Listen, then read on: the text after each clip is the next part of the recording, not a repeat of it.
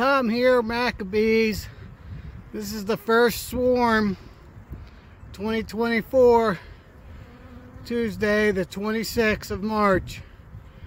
And I was just out with all my bees, and it's not one of mine, so I don't know where it came from. So it's in my lower backyard down at the bottom of the hill. So I'm going to shake them into this box, and I got the frames over here, one and a half combs. Just give them a little bit, not real big one. So awesome. This is all that's left, a few up here. The rest of them are down here.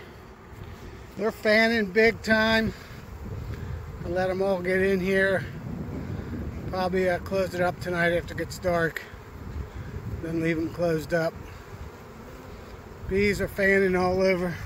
Get back.